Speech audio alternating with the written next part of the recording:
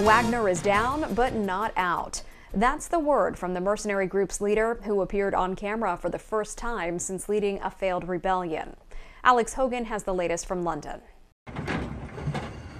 A month after ending his armed rebellion, the head of the Wagner mercenary group is back in the spotlight and still criticizing Moscow. Yevgeny Prigozhin releasing a new video on Thursday showing him addressing his troops at their new base in Belarus. He says they'll stay and train the Belarusian military before redeploying, but he claims their next assignment will be in Africa, not Ukraine. What's happening at the front line right now is a disgrace that we should not be part of. We should wait for the moment when we can show ourselves ourselves and our full strength. Meanwhile, Russia continues targeting Ukraine's food supplies and transportation infrastructure following the collapse of the Black Sea grain deal. And on Thursday, Moscow issuing a new warning saying all ships in the area will now be considered, quote, potential carriers of military cargo meaning that they could be targeted by the Russian military.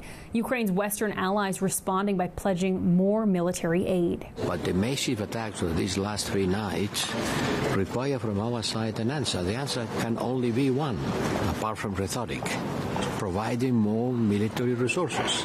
And the U.S. is already stepping up, announcing a new $1.3 billion package that focuses on drones and air defense systems to help Ukraine defend its ports against the Russian airstrikes. The United States is committed to supporting Ukraine alongside our allies and partners now and for uh, the long future. The White House says that it believes that Moscow will target civilian ships as Russia works to seal off Ukrainian port cities. In London, Alex Hogan, Fox News.